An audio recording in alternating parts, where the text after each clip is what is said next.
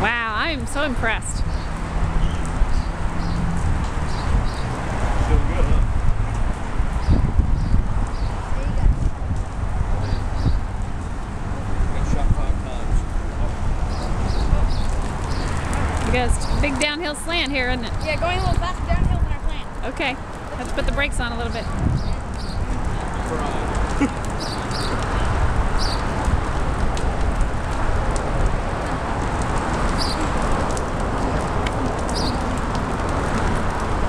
Truman, I expect you to walk around on this leg all weekend long. All right. Gotta hunt eggs, buddy. Yeah. There, there's your turn.